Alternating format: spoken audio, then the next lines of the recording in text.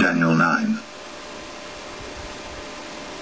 In the first year of Darius, the son of Ahasuerus, of the seed of the Medes, which was made king over the realm of the Chaldeans, in the first year of his reign, I, Daniel, understood by books the number of the years, whereof the word of the Lord came to Jeremiah the prophet, that he would accomplish seventy years in the desolations of Jerusalem. And I set my face unto the Lord God to seek by prayer and supplications, with fasting and sackcloth and ashes.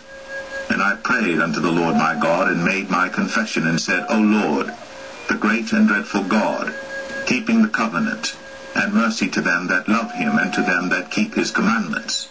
We have sinned, and have committed iniquity, and have done wickedly, and have rebelled, even by departing from thy precepts, and from thy judgments.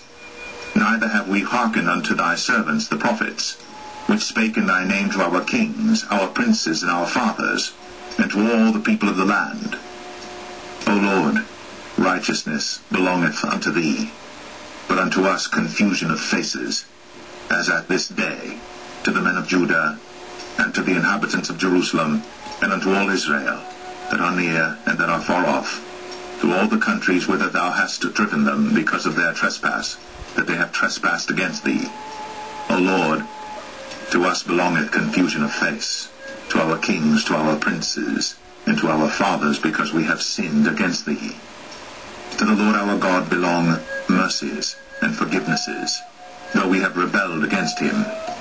Neither have we obeyed the voice of the Lord our God, to walk in his laws, which he set before us by his servants the prophets.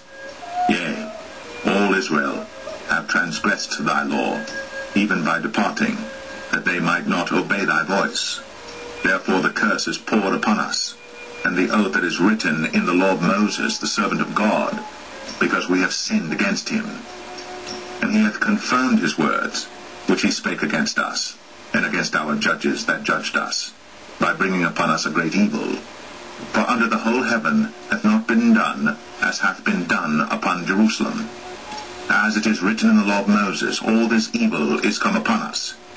Yet made we not our prayer before the Lord our God, that we might turn from our iniquities, and understand thy truth.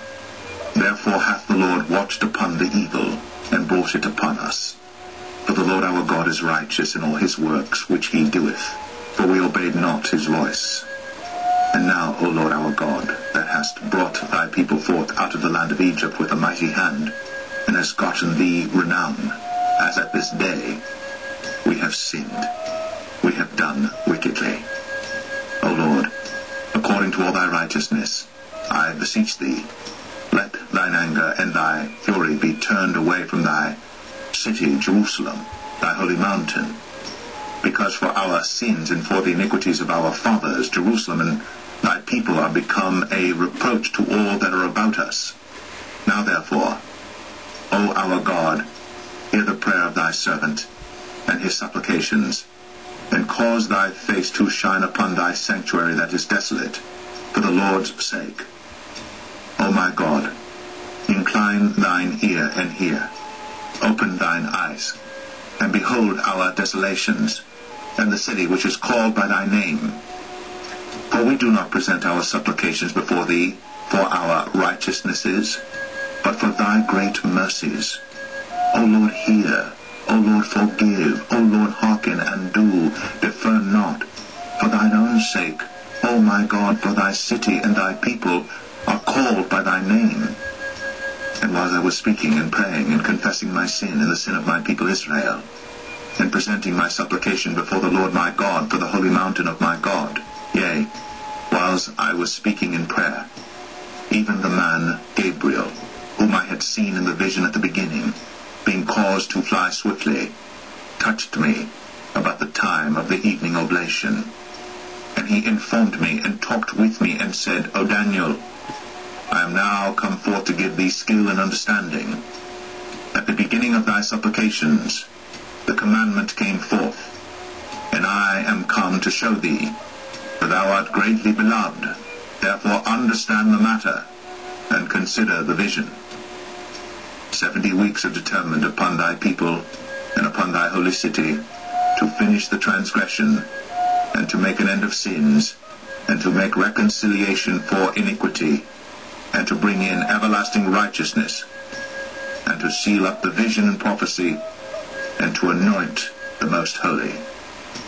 Know therefore, and understand, that from the going forth of the commandment to restore and to build Jerusalem unto the Messiah the Prince shall be seven weeks, and threescore and two weeks. The street shall be built again, and the wall, even in troublous times. And after threescore and two weeks shall Messiah be cut off, but not for himself.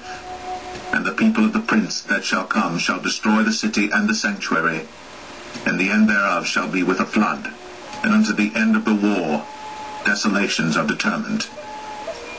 And he shall confirm the covenant with many for one week.